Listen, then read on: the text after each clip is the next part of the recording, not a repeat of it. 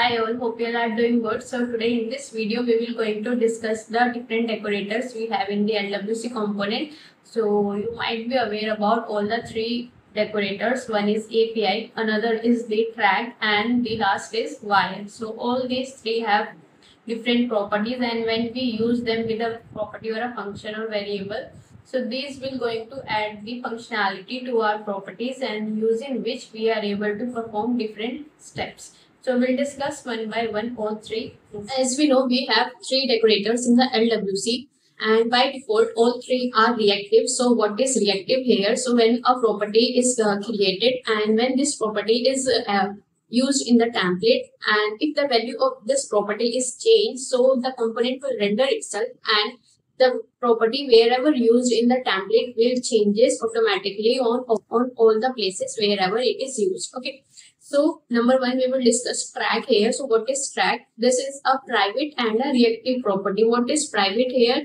We can use this property within the same component only. We cannot use this in the another component. Okay. So whenever we create a property or decorate our property with the track, and if it is used in the HTML template uh, in the HTML file so whenever the value of this property changes it will go to change on its all the places. So to use this on the JS controller first line is to import this decorator in the from the LWC next come is the API so API is the public and the reactive decorator so public means we can use this property outside the component also. So when we have the parent child communication or like suppose from the parent I want to pass the value on the child component. So in this case, we will going to use the, we will going to define or decorate our property with the API and the value will be passed to the another component. Suppose we have Aura and LWC and if I also want to pass the value from the Aura to LWC component, then again we are going to use this API decorator in the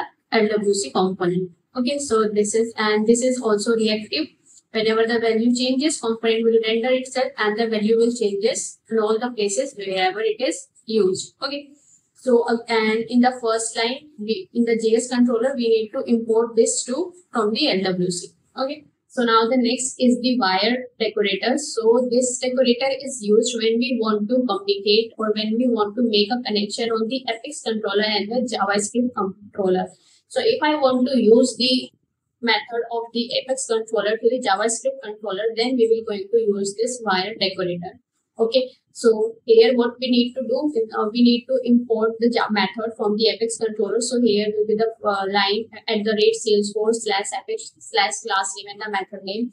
And then this will going to communicate with the Apex controller and the value will and the values are written from the Apex controller can be get in this JavaScript controller. Okay. So this is how we will going to use this wire and this is also reactive and here we have different methods also to communicate with the Apex methods. So we'll discuss one by one in the coming videos with the examples. Okay, so hope you guys understood the different decorators we have and let me know if you have any questions.